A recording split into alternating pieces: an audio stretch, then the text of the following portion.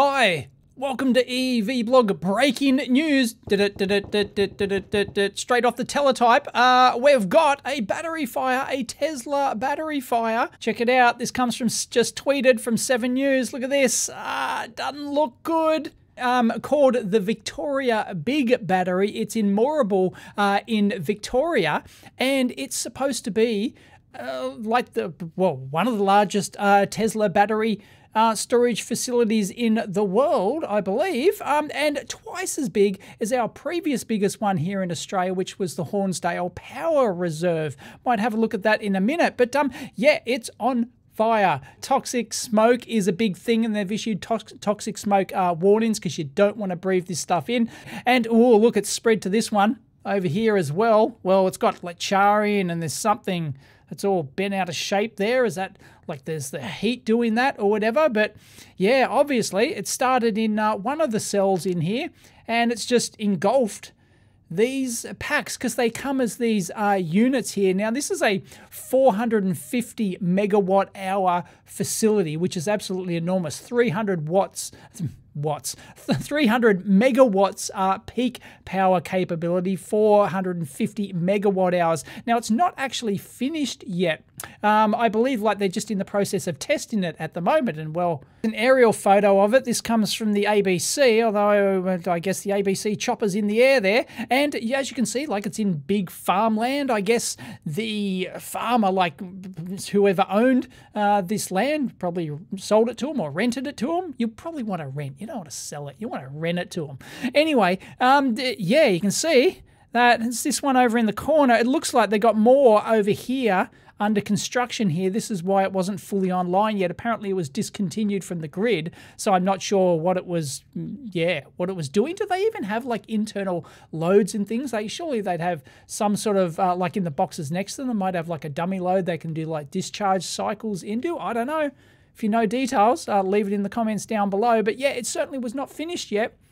And uh, it's obviously nearby to these uh, power lines here. So, yep, it's Kamagutsa and the magic smoke has escaped. But as Elon said, everything's better with fire. Now, this raises a couple of interesting questions like, why would, you know, because obviously uh, battery systems like this, they're exothermic, right? Which means that once they catch on fire, they're self fulfilling, they're self perpetuating, right? The fire will just keep going, the energy will just feed upon itself.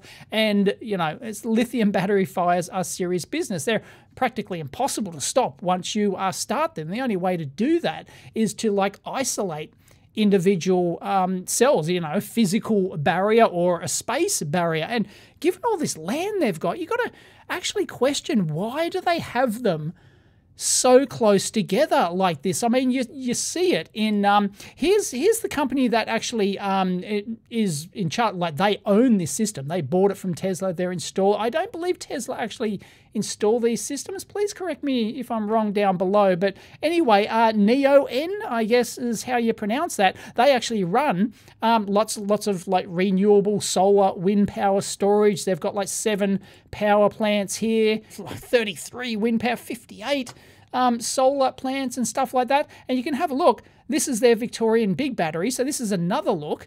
It looks like they have a big substation over here. And this is when uh, early on it was, so the fire's like down here somewhere and this one's still under construction as we saw from the uh, photo before and these ones uh, all this stuff here we saw that's um, actually to connect it into the grid and stuff, I believe. So yeah, it's a Big Daddy, 450 megawatt hours, um, absolutely enormous. And before that, yeah, it was the Hornsdale. The biggest one here was the Hornsdale one. Hornsdale Power Reserve. Uh, they don't have any good photos of that and just look, the fire's just like ripping into the ones next to it, and they're like, like what is there? What like a foot of gap there between them? So it's I'm I'm not sure how you can expect these to actually um, stop spreading. And this is supposed to be a photo of it under construction, although they're different because you'll notice that there's no fans on top of those. So um, yeah, why there's fans on top of these ones, as you can see, like each uh, each unit there, like has this big fan, what looks like a fan, on the back of the thing. So yeah, are these are the design of these ones any different? I don't know. Any commercial Tesla battery pack experts out there um, able to tell us what the uh, deal is, or do Tesla just supply the the uh, rack units themselves, which can, which we can have a look at? Um, so yeah, let's actually have a look at here's inside one of these uh, containers. So you can see, I'm not sure what capacity each one is, but you can see that they're individual slabs here. And of course, these would be uh, like uh, probably uh, 2170 uh, cells in there, like the standard Tesla cells from their Gigafactory. And then you've got uh, water pumped uh, liquid um, cooling up here like this, thermal management. And I guess you can slide, these are in, in racks and you can slide them in and out. And they've got, uh, this is where they do cell monitoring and protection and all that uh, sort of jazz. And they uh, boast about that. So they boast that uh, the individual battery packs like that, they can slide out. They boast about how you know, hundreds of embedded sensors, PowerPack offers unparalleled performance, safety, and reliability. And temperature, thermal control system, internal liquid cooling and heating system allows pinpoint temperature control within a PowerPack, a dual coolant and refrigerant loop system. But see, the problem is, and they're supposed to be weatherproof, like um, yes, I don't know what the fan on the top's doing because um, looks like some of them need it and some don't. I don't know. Anyway, the whole idea, like each one of those might have like a thousand cells in it or something. Each one of those little packs might have like a thousand cells in it. And when you got that many, you're just like, you're bound to get a failure somewhere along the line. So it's not, I'm not going to say it's not surprising, but you know, it's like when you got that many cells in there and when potentially um, because they're exothermic, if one of them develops an internal fault that heats up, then, well, I'm not sure about the internal construction and how that, you know, uh, that energy will be dissipated. Sure, like, you know, they can cut the load off to it and everything else, which is fine and dandy, but because they're exothermic, that's not going to do anything. It's not the load causing the uh, problem, it's internal to the cell itself. So, internal to the physical construction. And then that spreads to the next cell, it heats up, and before you know it, you've come a gutser. Yeah, I don't know if I'd want to be in the uh, high volume battery pack business like this. My own car, my own Hyundai Ioniq uh, car has been recalled. Well, they've recalled them all worldwide because like eight of them caught on fire or something. It's like, you know, it's like sheer numbers. It's, it's going to eventually happen unless you use a non-exothermic battery technology. So don't know who this Chris Vanderstock. Thank you very much. Here we go. Got some aerial footage. But under construction. Having an area smaller than a football oval at Geelong's GMHBA Smaller Stadium. than a football oval. Why? This site is located 13 kilometres northwest of Geelong and still very much a construction site, with most groundwork done. Now, as I said, with the amount of land they've got, you've got to question like, why would you put them this close together? Or at least, like, you know, even if you constructed like just a brick wall around each one or something that would just like individually contain each, um, you know, like pod, I guess, what is what one of these things, you know, this whole thing. Um, obviously, or, or maybe like a double one or something like that. Or is, yeah, it looks like there's one of these controllery or something thing or interface uh, boxes, junction boxes, or whatever for each one of these. I'm not sure if you know what they're doing. Leave it in the comments down below. But yeah, why can't you put like just a big wall that's slightly taller than the whole thing, like be, be, between these to stop the fire spreading. Now, I, this is breaking news, so I don't know how damaged it's going to be, but obviously this one over here is going to that that looks damaged. The metal looks like it's uh, just warped and everything there, and this one's completely gone. I'd be surprised if it doesn't spread a bit. Hopefully, it doesn't spread further, but it could potentially spread to that one there. Um, you know, it's given the the prevailing winds and uh, stuff like that are going to um, cause the issue there.